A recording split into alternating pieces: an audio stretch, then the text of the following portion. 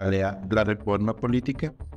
Ministro del Interior se desmarca de la idea de que Congreso siga eligiendo magistrados del CNE.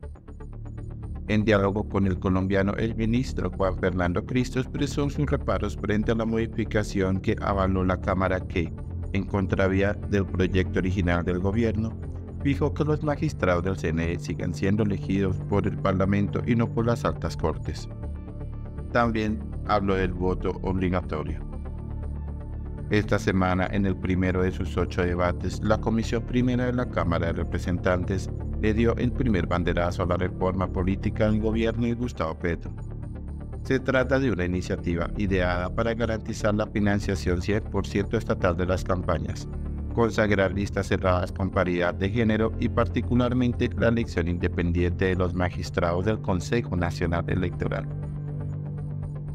Si bien en un primer momento el ministro del Interior Juan Fernando Cristo celebró la aprobación y destacó que es un paso clave para fortalecer la transparencia y consolidar una democracia que responda a las necesidades de todos los colombianos, con el pasar de los días han florecido sus reparos frente a lo que se acordó.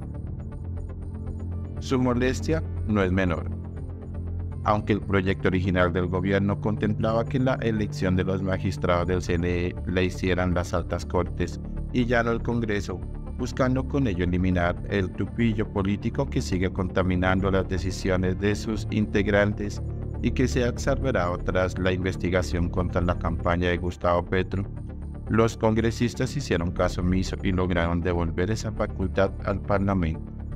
Se trata de un golpe al corazón de la iniciativa en diálogo con el colombiano, el ministro Cristo aseguró que se trata de una equivocación, pues aunque se quiera hacer pasar la elección como un concurso público y de méritos, lo cierto es que la última palabra la sigue teniendo el Congreso.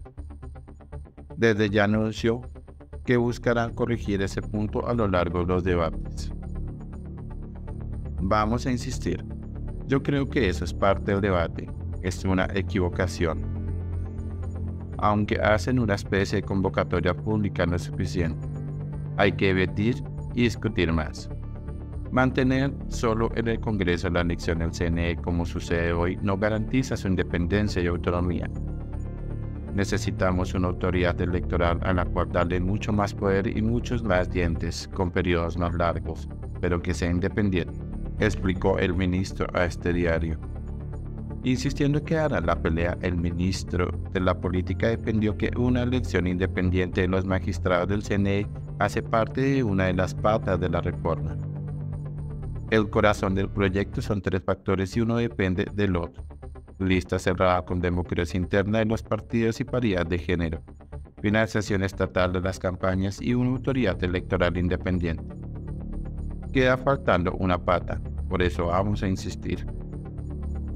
Justo durante la aprobación del proyecto en su primer envión, la representante Catherine Jubinado de Alianza Verde insistió en que el Congreso no debe elegir a los magistrados del CNE e instó al gobierno Petro a poner ese punto como un inamovible. Todos vemos que el presidente Petro se está quejando de que el CNE es una entidad politizada que persigue a contradictores, pero al mismo tiempo esta reforma no incluye una transformación en la manera en cómo se elige a los magistrados, reclamó.